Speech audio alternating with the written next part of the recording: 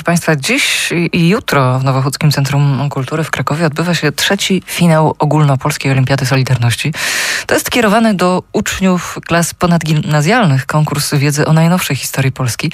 A z nami jest już Mariusz Bartkowicz i jego gość Patrycja Marczuk, reprezentująca Fundację Centrum Solidarności, pomysłodawcę i organizatora Olimpiady. Witam Państwa. Dzień dobry. Jak to się zaczęło i skąd w ogóle pomysł na to, żeby młodych ludzi zachęcać nie dość, że do nauki historii, to jeszcze do nauki tej historii niełatwej, bo obejmującej no, praktycznie całkiem świeże dzieje naszego kraju? Pierwsza edycja Olimpiady odbyła się w 2012 roku. Skierowana była wtedy do uczniów e, pierwszych klas e, szkół ponadgimnazjalnych. E, następnie zmieniliśmy zasady i konkurs jest skierowany obecnie do uczniów klas drugich oraz trzecich. I tak naprawdę ilość szkół, która mm, co roku zgłasza się w coraz większej ilości, pokazuje nam, że młodzież e, nie dość, że bardzo chętnie chce się uczyć tej historii najnowszej, chce zrozumieć współczesność e, w oparciu o te wydarzenia, które miały miejsce tak naprawdę kilka zaledwie dekad temu. Chce brać udział w konkursach, e, chce też mierzyć się tak naprawdę na poziomie ogólnokrajowym. W tym roku mm, Olimpiada sprawdza wiedzę uczniów z okresu dwóch dekad Polski, lat 1970-1990. To zresztą w ogóle hasło, które organizuje e, całe, całe przedsięwzięcie. Ilu uczniów w tym roku się zgłosiło i jak wyglądał w ogóle proces kwalifikacji w tym konkursie? Mhm. Rekrutacja rozpoczyna się we wrześniu. Szkoły zgłaszają się poprzez e, formularz, który widnieje na naszej stronie internetowej. W tym roku do etapu szkolnego, który odbył się w listopadzie, zgłosiło się ponad 500 szkół, co przeliczając na ucznia daje nam ponad 3000 uczniów. Później do etapu wojewódzkiego dochodzi dwójka uczniów, która zdobyła najwyższą ilość punktów z poszczególnych szkół i do etapu wojewódzkiego doszło 600 uczniów. Na początku, żeby można się było dostać, trzeba było wystartować samodzielnie, każdy z zainteresowanych uczniów. E, w finale e, chcecie sprawdzić, jak wygląda praca zespołowa.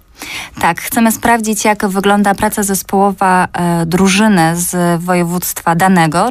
Bardzo często są to uczniowie z różnych szkół, z miejscowości oddalonych o kilkadziesiąt kilometrów, więc tutaj bardzo ważna jest komunikacja sprawna pomiędzy nimi, ale także chcemy wiedzieć, jak wygląda e, komunikacja pomiędzy uczniem a nauczycielem, co daje nam wiedzę na temat m, tego, jak nauczyciele przekazują wiedzę na temat tego okresu w szkole, jakie jest zapotrzebowanie i tak naprawdę, czy e, uczniowie dostają tyle wiedzy, e, ile potrzebują, żeby zrozumieć to, co miało miejsce. A z tych obserwacji dotychczas, które Państwo mieli, z tych prac, które przez Wasze ręce przepływają, kiedy przygotowywaliście ten krakowski e, finał, e, no to jak młodzi sobie z tym radzą? Czy oni bawią się na przykład formą, robią niezwykłe jakieś multimedialne prezentacje, właśnie chcą tym historią zainteresować? No bo to chyba już bezpowrotnie raczej skończyła się epoka wypracowań, prawda, które my pamiętamy, przepraszam, pani nie, a pewnie ja i starsi słuchacze z czasów dawnej, dawnej edukacji. Tak, ja jestem ostatnim rocznikiem, który zdawał starą maturę, więc pamiętam doskonale. E, natomiast e, tak, rzeczywiście to już jest nowe pokolenie. Ono też e, ma inny sposób myślenia o historii, ale również inny sposób myślenia o nauce, o zdobywaniu wiedzy. Są bardziej, e, in, są bardziej multimedialni, już innymi narzędziami musimy do nich docierać. E, dlatego też podczas wizyty studyjnej, która odbywa się w Gdańsku po etapie wojewódzkim, prowadzimy dla nich zajęcia z autoprezentacji. Pokazujemy, jak zbudować ciekawą prezentację, która trafi e, tak naprawdę do przedstawicieli ich pokolenia, czyli chodzi nam o to, żeby oni cały czas mówili o historii swoim językiem, e, żeby nie mówili w sposób sztuczny, językiem, który nie rozumieją, a który często występuje w podręcznikach. Chcemy też ich, im pokazać, że historia może być lekka, świeża, przyjemna i przede wszystkim być dla nich wspaniałą przygodą.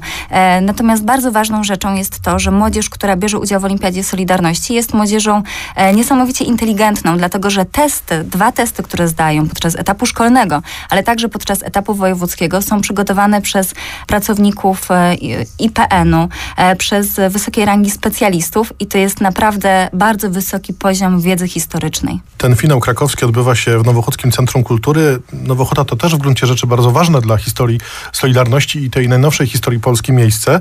W tym roku każda z drużyn broni przesłanej wcześniej do komisji konkursowej prezentacji multimedialnej na jeden z dwóch wybranych tematów. Albo kultura niezależna w latach 70-89, albo też e, przekaz dla młodych Europejczyków. Próba stworzenia e, takiej informacji dla obywateli innych krajów o pionierskiej roli Solidarności w polskiej e, drodze do mm, wolności. Jak sobie młodzi z tym zadaniem poradzili? Bardzo dobrze.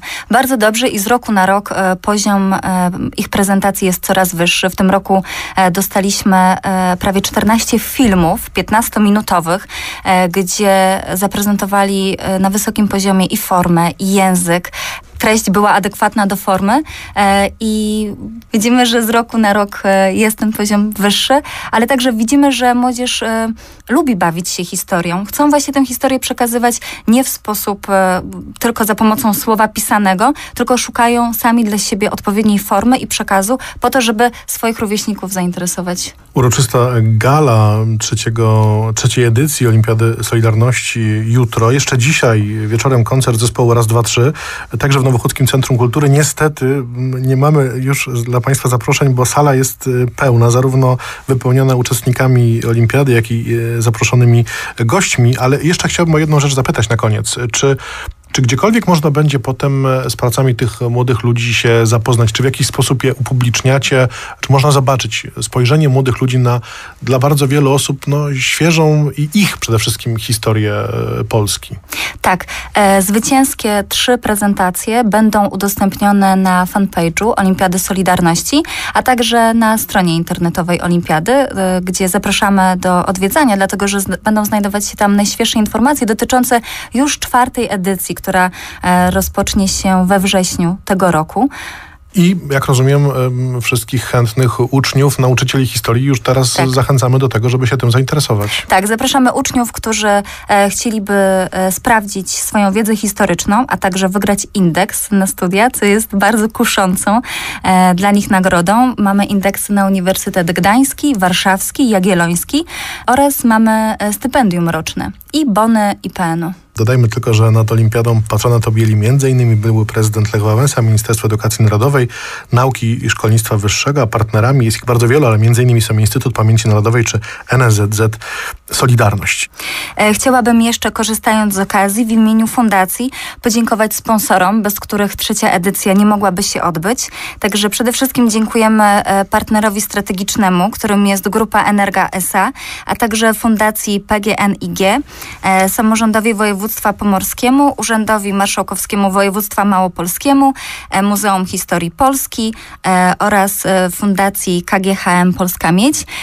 I bardzo serdecznie chcieliśmy podziękować Nowochódzkiemu Centrum Kultury za wspaniałą całoroczną e, współpracę i za pomoc w organizacji finału koncertu. Dziękujemy bardzo. Trzecia edycja e, Olimpiady Solidarności, tym razem jej finał właśnie w stolicy Małopolski. Bardzo dziękujemy za spotkanie. Patrycja Marczuk z Fundacji Centrum Solidarności. To jest pomysłodawca i organizator przedsięwzięcia. Dziękuję za rozmowę. Dziękuję bardzo.